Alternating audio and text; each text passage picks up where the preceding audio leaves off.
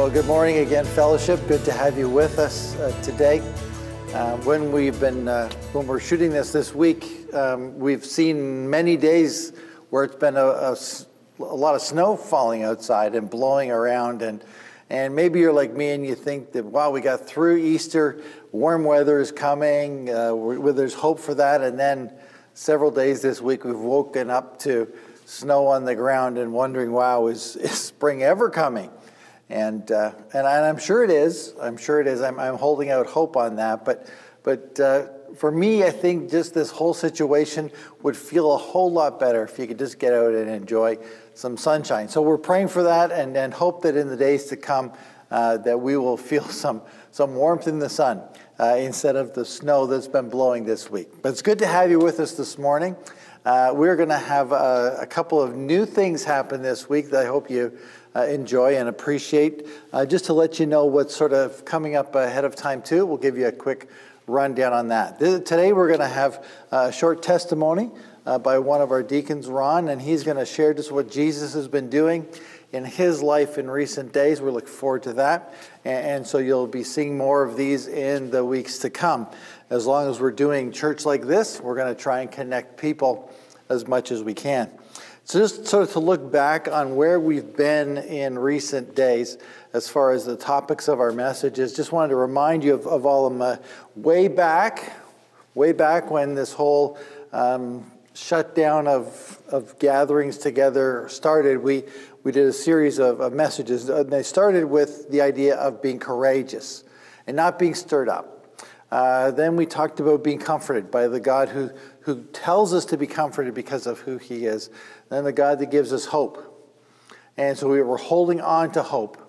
And then we talked about the future and the importance of understanding what the future holds for us and, and, and what the implications of that are and why it's important for us to know for sure um, our future and what, what our eternal destiny is and why that's so important.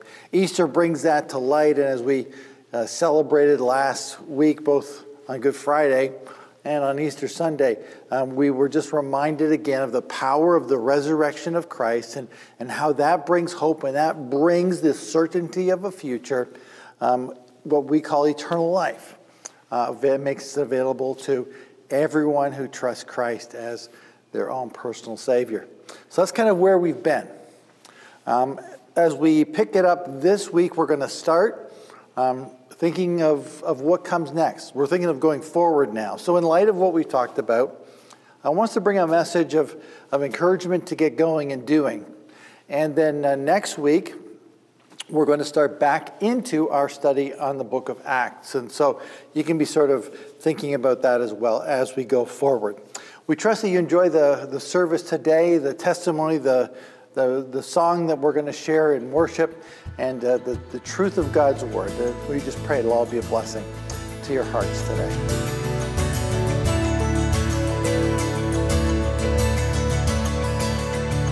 It's coming on the clouds, the kingdoms will bow down.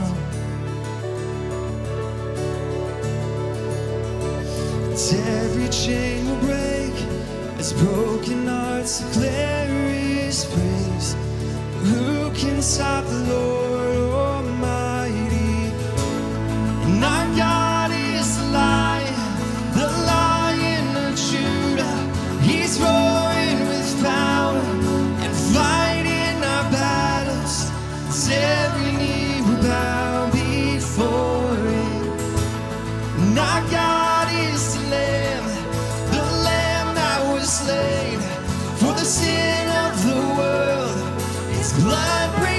chains.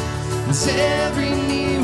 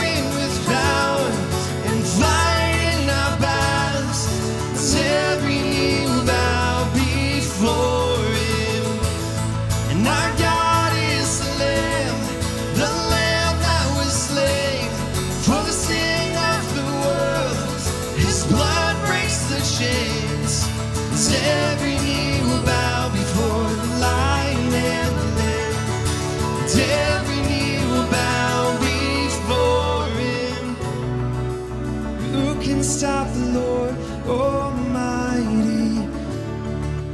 Who can stop the Lord?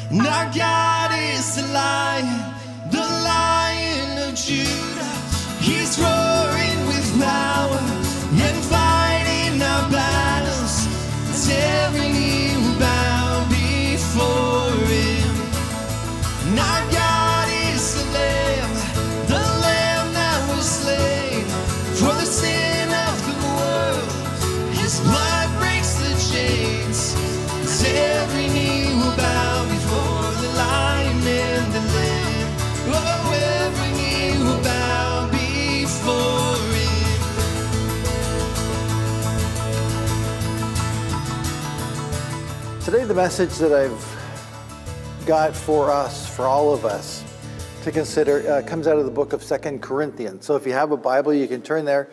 Um, we're just going to look at a few verses in, in 2 Corinthians chapter 1 and then in 2 Corinthians chapter 4. So we're just going to go to those two spots today and tie a thought together, I hope. Um, as you're doing that, just to give you the quick background for the book, um, the Apostle Paul has traveled and been to Corinth, and, and he's started a church and wrote them a letter, and they were having some struggles, some big problems, and he wrote them a, another letter, and, uh, and, and so he's had this dialogue through the mail in some ways with, with the, the church in Corinth.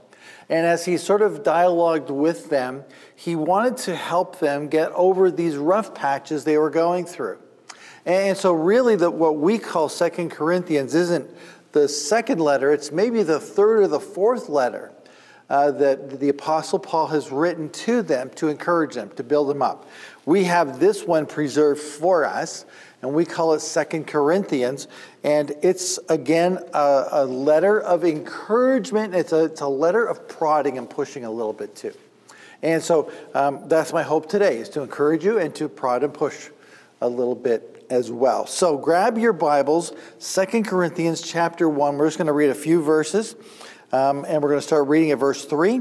And, and we're just going to, to get an idea, a thought that comes out of it. It ties back all the way uh, to the very beginning of our series of messages we, we started as we began this online process. So read with me. This is verse 3. Blessed be the God and Father of our Lord Jesus Christ, the Father of mercies and God of all comfort, who comforts us in all our affliction so that we may be able to comfort those who are in any affliction with the comfort with which we ourselves are comforted by God. For as we share abundantly in Christ's suffering, so through Christ we share abundantly in comfort too. If we are afflicted, it is for your comfort and salvation. And if we are comforted, it is for your comfort, which you experience when you patiently endure the same sufferings that we suffer. Well, the apostle is really just trying to get their attention in some ways and wants to, to let them know his goal is to encourage them, to bring comfort, but it's not necessarily going to come the way they expected, and it may not be packaged as nicely as they had hoped. But here's the reminder. Here's the reminder to people that he cares about a lot. He's, he's engaged with them and he's had correspondence with them, and they're people that he has come to care about. And so he wants to share with them some concerns, but some hope as well. So he starts out by telling these people that were probably being pushed to the sides of society and having some struggles of their own because of their faith and trust in Jesus. Because they were, they were being pushed to the, the, the sides of their culture and they were absolutely countercultural in a lot of ways. Life wasn't always easy. And so, so in the middle of those struggles that are coming as a result of, of their faith in Jesus, the Apostle Paul gives them these words. Blessed be to God and Father, verse 3, of our Lord Jesus Christ, the Father of mercies and God of all comfort. Two points there I want to just sort of stop and, and remind us of. And it's easy to sort of blow over these words, but it's really important. He calls God the Father or the originator of mercy. In other words, um, the, the blessings that we get in the, in the middle of, of tough times, those mercies that we get, are a result of God working in our lives. The, the, the idea of mercy is, is, is sort of not giving us the, the whole dose that we really do deserve. Um, and, and, so, in, in, a lot of ways, God is, is, is standing between the struggles of life and, and his people and, and being merciful. He's, he's helping them through the difficult patches of life. And, and if you could probably describe the last month or two of our experiences here, um, literally around the world, it might be struggles and challenges and trials. So, so in some ways, we have to look at it and say, if we're okay, and the people we love are okay, and and we're we're we've got sort of roof over our heads and and food in the fridge, and and we're okay. That's a, that's a result of God's mercy, the originator of mercy. Because it could have been a whole lot worse. Then it says this, and he calls him not just the Father of mercies. But here's the connection point back to our thoughts on Isaiah a few weeks ago. He is, he's also called the God of all comfort. And remember, God's call through Isaiah was to comfort his people, to comfort his people. In the midst of struggles and the midst of challenges, God said to comfort his people. And, and here's the Apostle Paul saying that, that the God that we worship is the God of all comfort. And he could have just said the God of comfort, but he didn't. He chose to include the word all. And, and here's, I think, the lesson that the apostle was trying to get through to them. Because they're probably like you and me. They're, they're probably exactly like you and me, or we're exactly like them. They were probably in the midst of, of difficult, challenging times looking for comfort in a variety of places.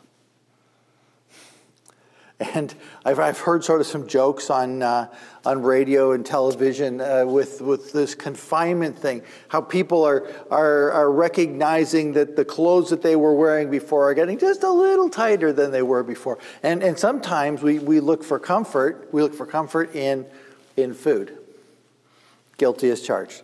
And, and, and that's, what, that's what we do.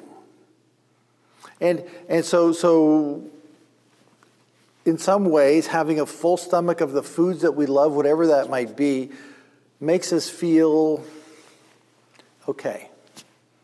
It, it makes us feel like we're home. It makes us feel like we're going to get through this. Uh, other people find comfort in different things. Um, I've, I've heard of I, this I don't understand at all, so just put that right out there. But I've heard of people saying that, that, that going and buying things, shopping, uh, even online, is a, is a source of comfort. That boggles my mind in every possible way. But um, that may be what it is that we're trying to, to fill that void with. Maybe it's, maybe it's surrounding ourselves with our family, you know, just sort of collecting everybody together and, and saying, well, if we're all here and we're all okay, then, then, then it's okay. And we find comfort in that. And, and I'm not trying to suggest those are bad things. Any of those are bad things. I just, I'm just saying that, that we can go and look for comfort in lots of places. But the Apostle Paul says that, that, that when we run to God, He's actually the source of comfort. He's the, the God of, I like this word, all comfort. There's really nowhere else to go to really get the comfort that our soul, that our heart is really looking for. That, that warm, fuzzy feeling that we want isn't going to be found anywhere other than in a relationship with a God who says, Comfort my people. A God who says, I'm there for you through it all. A God who says, I care for you. I have a plan. I have a, I'm going to give you hope. I'm going to give you a future. I love you. I care for you. And I love you so much. I died for you. It's in that God that we find real, real comfort. So there's verse 3 of, of 2 Corinthians chapter 1. And then I want us to sort of see what's going on. He says, So when does this God of all comfort show up? When does this God of all comfort sort of invade our lives? Well, he comes and comforts us when we need him the most. Look at what it says. The God who comforts us in our affliction, verse 4. And, and so, so it's when we need him, God shows up. When, when we need him, God is there with us. He's described as the one who sticks closer than a brother. He's described as the one who will never leave us. He's, he's the one that's, that describes as, as the presence that is with us, above us, in front of us, behind us, beside us. The book of Psalms talks all about, about all of those places where our God is. And so it's just a reminder that, that God is the one who's there because he knows what we're going through and He comforts us in our affliction. See, He never leaves us as the casualty of anxiety. He, he never leaves us as the one who's being pounded by the struggles of life or overwhelmed by the temptations that it brings. But He's the one that, that holds onto us and bears us up in all of the trials and all the difficulties of life. He's the one who comforts us in our affliction, in the hard points of life, in this stuff that we're going through right now. We can get comfort through a relationship with God. Then I want us to see that He comforts us. That's the first point. That's a good thing. He comforts us in all our affliction. But that's not the end of the verse. It's not the end of the story. It's not the end of the purpose that He has. And here's really what I'm trying to get across to all of us today the struggles, the challenges, the, the things that are frustrating us today shouldn't mean the end of us being able to make a difference in our world. I'm reminded that the Apostle Paul spent a lot of time on his own. He was free when he wrote this book, but a lot of the books in the New Testament that he, he sent to people, he wrote when he was in jail, in prison, isolated, self isolated, not his doing in some ways. And so to, to think that just because we're in this situation means we can't do anything is not true. So, so I want you to see why God comforts his people and why he comforts us. So let's keep reading in verse 4. Because he doesn't comfort us just to make us feel better, although that's really awesome. And that's really great. And I'm all in on that. I, it's not that I'm disappointed that, that God comforts us to make us feel like we're going to be okay, we're going to get through this, and God has a plan and a purpose, and He gives us hope. I got, I got all that. I get that. I get that. But that's not the end of the story and I want us to see what it is. So he says he comforts us in our affliction, verse 4 says, but now here's the part I want you to underline in your Bible uh, or, or highlight in your tablet or whatever it is, so that we may be able to comfort those who are in any affliction. You see, God doesn't comfort us so that we can sit and be satisfied. God comforts us so that we can do. And if there's any point to what I'm trying to communicate to us today, is that the comfort we get from God needs to lead us to action. It, it doesn't let us sit and be static, it doesn't let us be stationary and satisfied. It, it's got to move us on to doing something bigger and better than what we're doing right now. And so when we get comfort, it is not so that we feel better, it's so that we can, can go to someone else and say, Let me tell you what God has done for me. Let me tell you about the hope that I have because of my relationship with him. And let me tell you about his goodness. And let me tell you about hope. So that we'll be able to comfort those who are any affliction. So it's not for ourselves, instead, it's driving us to action. And then it says this like, and we comfort people, not with our own words, but, but with the comfort with which we ourselves have been comforted by God. That's the end of that verse. In our affliction, just giving a little bit, or until we feel like we've done enough, really isn't good enough. Because God doesn't just comfort us a little bit. We don't just go to someone and say, hey, thinking about you, um, let, just checking in you, see how you're feeling, and tick the box and say, we're done. See, people may have some really, some really significant needs in your world. And, and you might be able to be the one that can really help them. In fact, you might be the one that God is, is suggesting needs to get involved in their life and to encourage them and to comfort them when, when they're in, in struggle. I can't imagine that single person, weeks on end, in an apartment, in a house, by themselves give them a call. Send them an email. Just let them know that you care.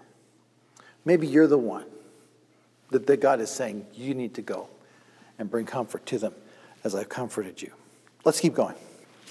Got a couple more verses, and we'll just tie this, this thought up here. Look at verse 5.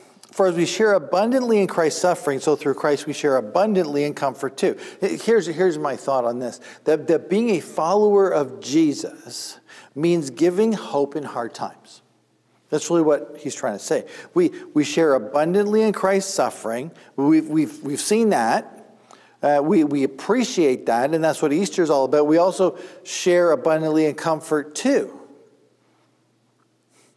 See, we, we get what Christ's suffering meant for us, the price that was paid for us. And in that, we are comforted. And so, so if we are comforted in that, then, then, it's, then it only stands to reason that we shouldn't just hold on to that, but to head on out and share that thought with other people too. So we, we share abundantly. Why? Because we've been given abundantly. It's when people need comfort the most that we're called to action.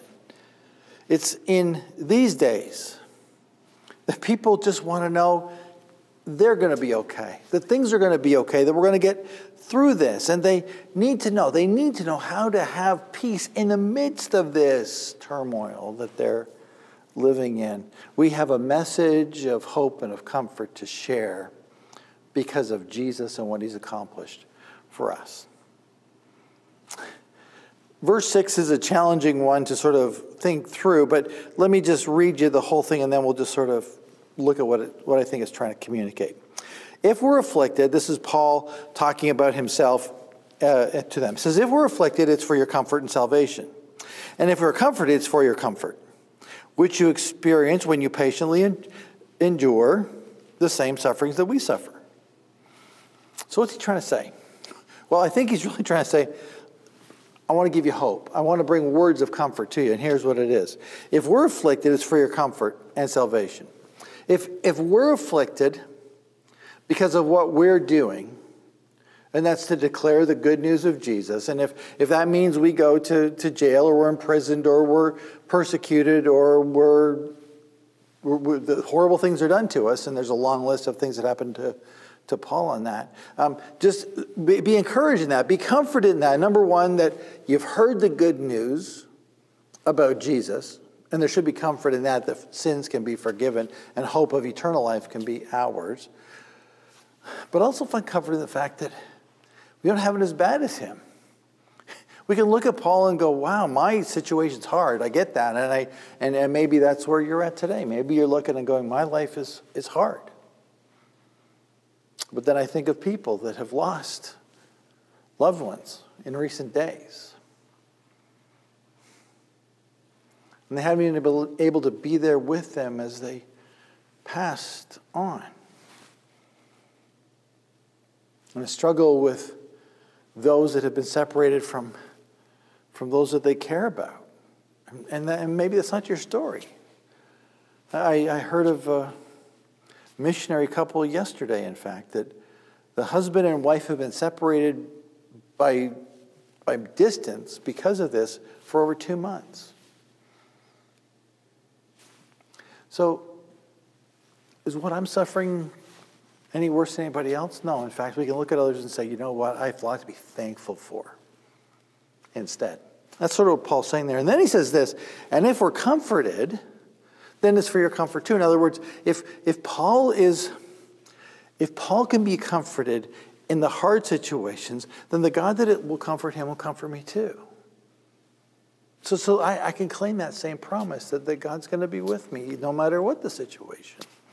And then he says, and, and you're experiencing that yourself. When you, when you go through the same stuff that Paul's going through, you see the same comfort that comes from God. Trust Him. He's got it under control. He's the God who brings comfort.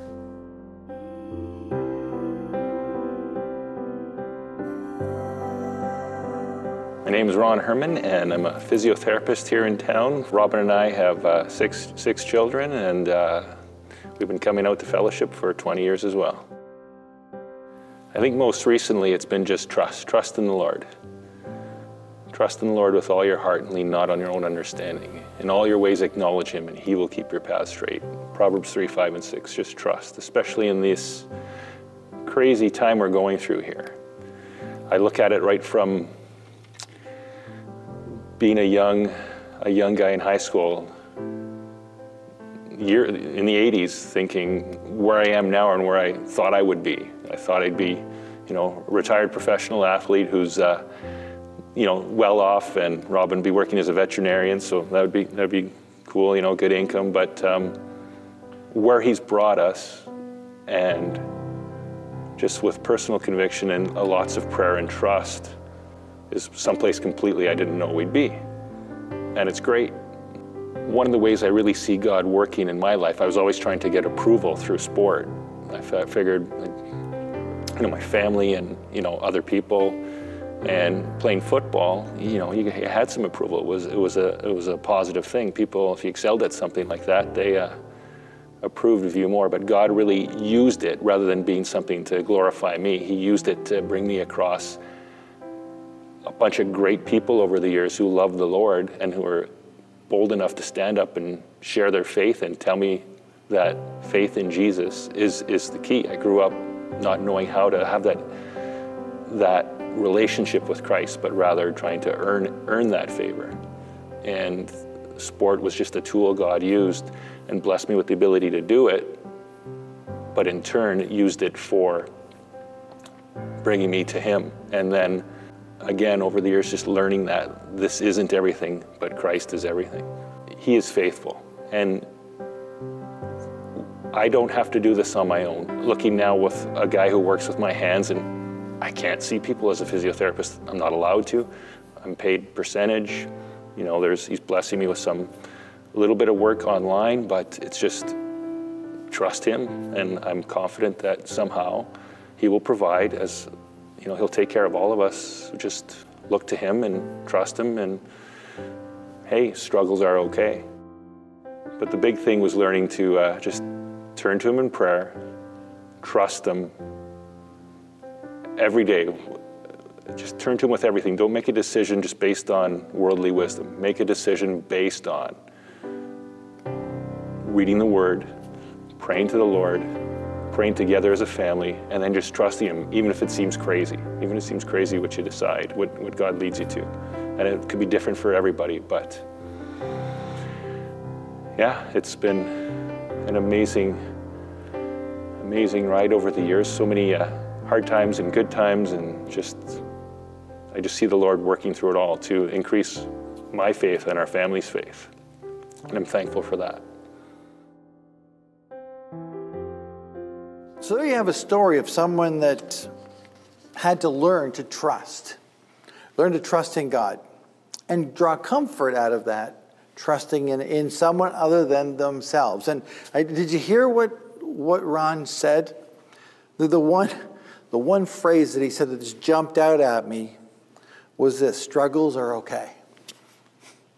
See, we want to live these lives, I think, sometimes that, that are free from aggravation and agitation. We want to live lives that are, that are free from conflict and crisis. We want to live lives that are sort of wonderful and, and no bumps in the road. And truth is, life's not like that ever. But in these days, it's really not like that. Life can be hard. Life is a challenge usually on its best day. And struggles are okay. Because because struggles that we go through point us to something outside of ourselves, drive us to something outside of ourselves. When, when, when I can't control things, when, when my life is sort of all stirred up, where do I go? It, we have to go outside of ourselves. When we can't control it, we go to a God who does. Turn to chapter 4 of Second Corinthians for just a, a minute, and we're just going to look at a couple more verses here, but just remind us of, of this same truth. This whole idea of, of the comfort of God has to lead to action, and, and this whole idea that struggles are okay. Struggles are okay. See, the, the, the fact we're going through tough times doesn't mean God has abandoned us. In fact, we draw some encouragement in all of it. Chapter 4, we're going to look at uh, just starting at verse 7, and we're just going to look at a couple of verses here. Uh, and I'll just read them all, and then we'll, uh, then we'll look at them together. But we have this treasure in jars of clay to show that the surpassing power belongs to God and not to us. We are afflicted in every way, but not crushed, perplexed, but not driven to despair, persecuted, but not forsaken, struck down but not destroyed, always carrying in the body the death of Jesus, so that the life of Jesus may also be manifested in our bodies. Well, there's lots in there too, but I just wanted to draw some, some really quick thoughts and ideas that I hope will be an encouragement to you. The first thing we find in, in verse 7 is this that we have this treasure. And that, that's the, the Apostle Paul is talking about the good news of Jesus. The, the fact that we get to share the hope and the peace and the comfort that we get through Christ with others. We get to share his story with others. That's the gospel. That's the treasure that we have.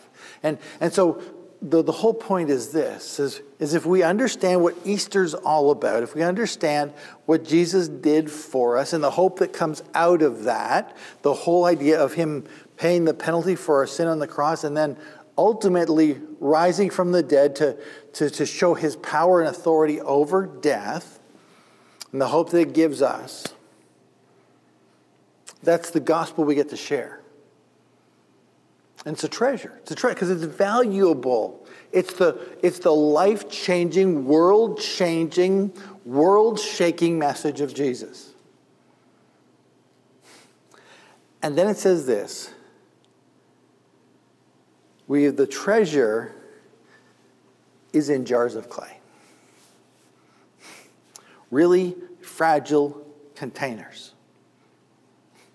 And if, if, we're, if we are learning anything in these days, is that we're fragile, that we are temporal, that, that, that, that these bodies can, can be destroyed really, really quickly, given the right set of circumstances.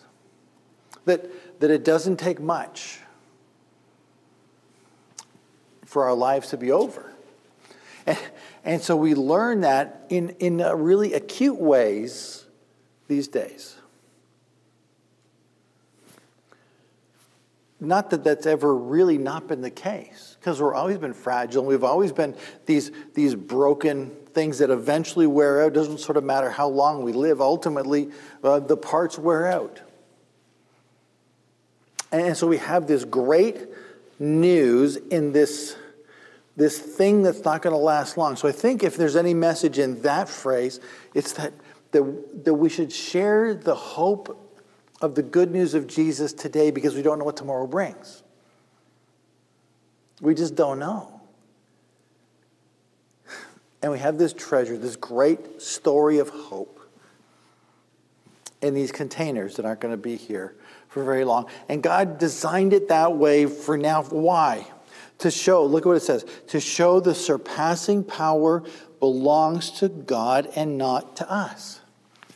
So that any hope, any comfort, any, any, any change that could happen in our lives isn't a result of me or you or anybody else. It's what God does in the hearts of men. So that, so that He gets the glory, not us. Because we're just broken pots that He chooses to use. We have the treasure in jars of clay.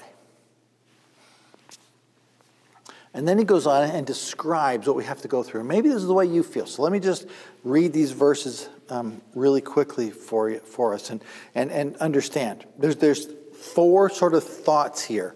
And, and, and we'll just look at them really quickly. We're, afflict, we're afflicted in every way, but not crushed, perplexed, but not driven to despair. That's verse 8.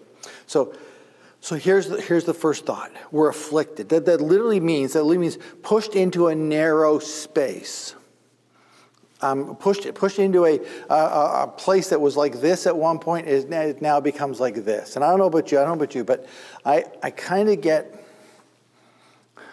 the older, I guess I'm getting old. I don't know if, that, if that's a good thing or not, but as I get older, the whole idea of being stuck in small spaces really creeps me out. I think when I was little, it really didn't bother me, but now I like I watch I watch a documentary on TV, like some guy going through a really narrow spot in a cave, and I I start to get all squeamish, like I'm starting to freak out, and and I don't know. I hope that goes away, but it probably never will. But but the point is, I think that sometimes we can we can understand what it means to be pushed. We, we want space, and, and when space is taken away, it unsettles us. It unsettles us because the, the fear is we're going to get stuck or we're going to get crushed or something bad is going to happen to us. But look what it says. This, this is what God does in our lives. The, the, the, the, the pressure, we've been, we've been funneled into a spot that we're not comfortable. That's probably the way you, you feel today. That's probably the way our whole culture, our whole country feels today. We're, we're stuck in a spot that we don't like very much. I don't know about you, but, but my house seemed bigger a couple months ago. Now it's like smaller than a shoebox. It kind of feels like this. We're afflicted in every way. We're, we're pushed into a narrow space, but, but look, look what it says though, but we're not crushed. See, that's the, that's the preservation of God.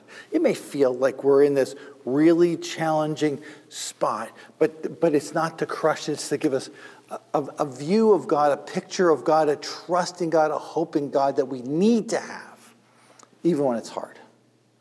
And then it says this, and we're perplexed, but we're not driven to despair. A couple of these, these words here that get used. Um, are, are, are like wrestling terms, which would have been a, a, a classic thought or idea because that would have been one of the main sports. And you sort of think ancient Greece and the you know, Olympics, all that kind of stuff. And, and, Greek wrestling was an important thing. So, so these were used there. And that word perplexed uh, is kind of one of those wrestling terms. It, it, it, it means at a loss for a solution. Kind of like if, if someone is wrestling with you and they've got a certain hold on you, you may get to a spot where you think, this is, this is hard and I don't know how I'm going to get out of it. And again, maybe that's the way we feel today. so, so what, what do I do about this? And, and so, so just so I can give up, but that's not the solution. In fact, it says this that it says we're, we're perplexed, but we're not driven to despair. In other words, we don't give up. We don't give up. Why? Because we got a solution? No, but because we think God is bigger than anything we're going through right now. And so we need to trust Him and wait for him. And the solution will come, the resolution will come, but it may not come in our timing and it may not come in the form we want, but God is the one who will bring it eventually. So, so we're afflicted every way, not crushed, perplexed, but not driven to despair. We don't throw up our hands and say, I give up. It says this we're persecuted but not forsaken, struck down and not destroyed. In verse 9, it says that. The, the word persecution, um, we think of as, you know, people wanting to beat us up, to hurt us, to kill us, whatever it is. But, but it really means to be pursued actively, it's to, it's to push from behind. It's, it's really, again, going back to those, the way the Greeks would think was the idea of, the, of, a, of a race. And, and if you're out front and you're running along and things are going along great, and you think you've got it all sorted out, and all of a sudden you hear footsteps behind, what does that do to you? It pushes you forward. It, there's someone who is wanting to take over, and I don't want them to get past me. And so, this whole thing is being pushed from behind is to propel us forward. It's to push us um, a little harder because we don't want to be overtaken like in a race. It's to be pursued and the need for us to push on. And so, I think that's really what we're trying to get at. This whole idea is that, that we are to push on no matter what comes. And then it says finally this to be struck down but not destroyed. That's again one of those wrestling terms. You can sort of think of, of what we think of wrestling, but this whole idea of, of being taken from a standing position and thrown to the ground. And, and just the fact that we're thrown to the ground doesn't mean the story's over. It may seem like a violent action in the moment. It may seem like, like we would never ever choose that, but it doesn't mean that the story is done. It's, it's I'm thrown down, yeah, but I get back up. I, I get knocked down, but it, that's not the end of the fight for me. I still have something more to give, and I'm still not done with the battle. The whole idea, that's what we want to do. That's the message, I think, the Apostle Paul's trying to communicate to the people at Corinth. Life is, life is hard sometimes. But we don't give up. Not because of what we've got, but we don't give up because we have a message of hope to share with people about Jesus. And it's worth all the struggles and all of the stuff that we have to go through if it gives us a chance to share hope. Let's look at verse 10. It sort of wraps up his thought. Always carrying in the body the death of Jesus so that the life of Jesus may also be manifest in us. We remember last, last week uh, at Easter time we carry about the, the body and, ourselves the death of Jesus. This whole idea that, that his death paid my penalty, my sin debt to a holy, righteous God. It was his death that, that allows me to have forgiveness of sins. And I carry that with me everywhere I go because I recognize, and I hope you recognize your own brokenness, your own sinfulness that you can't fix. So we take everywhere with us the death of Jesus, his love for me on the cross, paid the debt I could never pay. I carry that everywhere. And why do I do that? So that the life of Jesus, look what it says, so that the life of Jesus may also be manifest in me to others. So that the, the, the life I get, the eternal life that I have, the hope of of eternal life, the hope of forgiveness, the, the peace that I have that people don't get in these situations, in the hardest of times, it, it lets me share hope because of what Jesus did for me. So that the life of Christ might be manifested in me. See, that's really the game plan of God. For us, to go through the difficult times. Not be exempt from them, but to go through them with the hope and the peace that comes from Jesus. And so, if there's a mission for us as Jesus followers in these days, it's to carry the hope that comes through the death and the resurrection of Jesus that we personally experience. We get to share it, to make it manifest, to make it evident to others. So here's the, here's the takeaway. for you and for me this week. This week. Who is it that you can share the difference that Jesus makes in your life with this week? Who can you share the message of hope and of comfort with this week? Go tell people about Jesus and make them famous. Thanks for being with us again this week. I hope the message has been one of encouragement to you. I hope you enjoyed the testimony and the, the music that we were able to share with you. If we can be of help, please don't hesitate to, to let the church know. Call us or email us, and we want to respond to your needs as, as best we can. Uh, in all of this, we want you to know that you're cared for and loved. God bless you as you go. We'll see you next week.